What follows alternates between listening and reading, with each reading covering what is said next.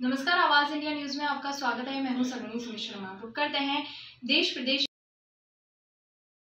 जनसंघ के संस्थापक सदस्य, भाजपा के वरिष्ठ नेता सुंदर सिंह भंडारी की पुण्यतिथि व स्थानीय विधायक कार्यालय आहोर में विधायक छगन सिंह राजपुरोहित के नेतृत्व में भाजपा कार्यकर्ताओं ने बुधवार को छायाचित्र के समक्ष दीप प्रज्वलित कर पुष्पांजलि अर्पित की और विधायक छगन सिंह राजपुरोहित ने सुंदर सिंह भंडारी की जीवनी इतिहास पर प्रकाश डालते हुए कहा कि भंडारी का जन्म बारह अप्रैल उन्नीस सौ इक्कीस उदयपुर में प्रसिद्ध चिकित्सक डॉक्टर सुजान सिंह के घर में हुआ था।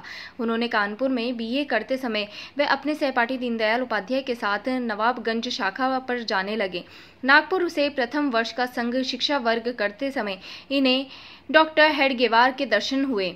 अपनी शिक्षा समाप्त कर मेवाड़ कोर्ट में वकालत की। इसे छोड़कर विधा, विद्या भवन में अध्यापन करवाया। आपातकाल के दौरान वे मीसाबंदी के रूप में जेल में भी रहे। आपातकाल के विरुद्ध हुए संघर्ष में वे भूमिगत रहकर काम करते रहे, पर कुछ समय बाद वे पकड़े गए।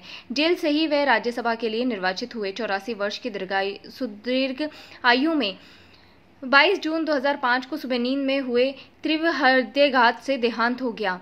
भंडारी जनसंघ की रीढ़ थे, जिसकी भूमि का स्वरूप आज देश उनको याद करता है। इस दौरान मंडल अध्यक्ष हकमाराम प्रजापत, जेठू सिंह मालिया ने संबोधित किया।